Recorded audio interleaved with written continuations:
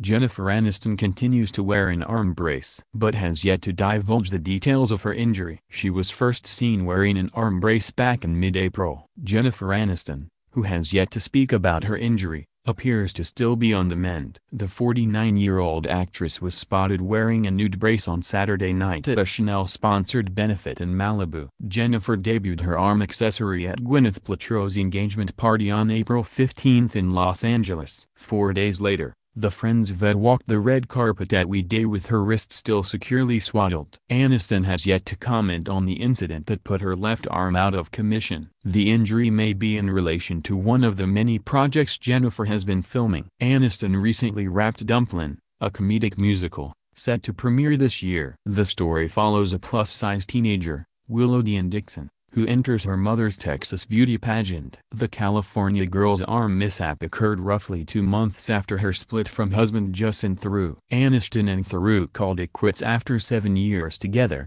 two of which were spent married. In an effort to reduce any further speculation, we have decided to announce our separation, Jennifer said in a statement. This decision was mutual and lovingly made at the end of last year. We are two best friends who have decided to part ways as a couple but look forward to continuing our cherished friendship.